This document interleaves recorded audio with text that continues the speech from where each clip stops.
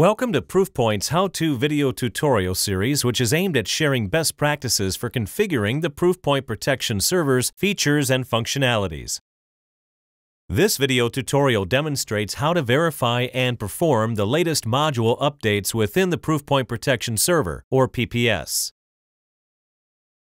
When you initially configure your Proofpoint license, the system automatically searches for updates every 5 minutes as prescribed within your Licenses and Updates module and Settings page.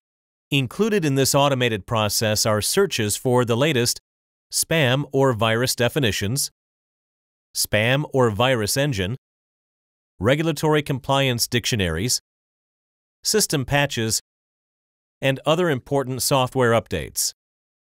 Although the system automatically installs updates, you can manually check at any time to verify the most recent updates are installed.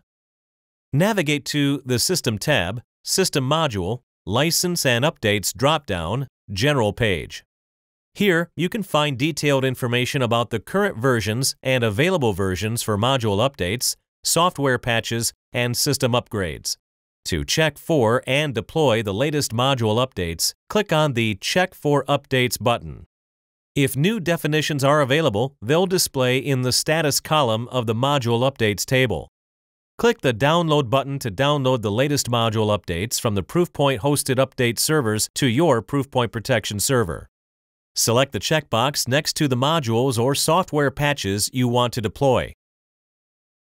Click the Apply Updates button to deploy the latest module updates or software patches.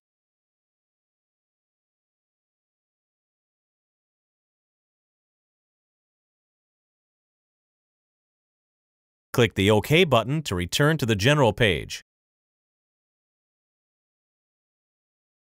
System upgrades must be made available through Proofpoint technical support before you can download and install the software. Once a system upgrade has been made available, you can actively download the software or wait for the software to be automatically downloaded along with the module and software patch updates.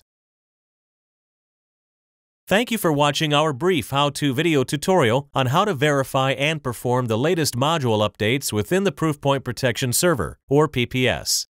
For additional information on our products, visit our knowledge base at https colon forward slash forward slash proofpointcommunities.force.com. For questions, comments, or feedback on this tutorial, please email us at training at proofpoint.com.